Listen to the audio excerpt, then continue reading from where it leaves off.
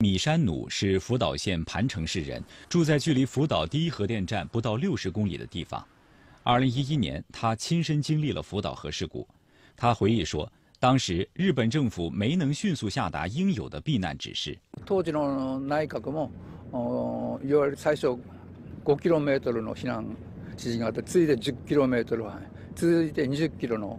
避難指示が出ましたね。20キロの時はおそらく あのすぐ近くの測測定するところで数ミリシーベルトという話が出ました。12日はあの1号機だけでしたけど、それ14日に3号機が爆発して、続いてあの15日に4号機も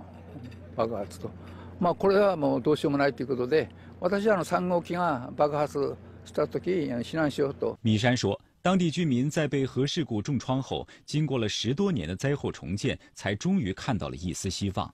如今，日本政府要将核污染水排入大海，这将给当地乃至全世界再次带来伤害。特に福島原発みたく、あの世界中に大変な迷惑をかけて、これから復興しようとしているときに、さらに他のところに迷惑をかける。福島他の福島県民にも、あるいは宮城県とか茨城県の漁民にも、さらには太平洋諸国にも、それは迷惑かけるんです。 米山表示，将核污染水继续储存在陆地上，才是真正安全稳妥的办法，而不是一排了之。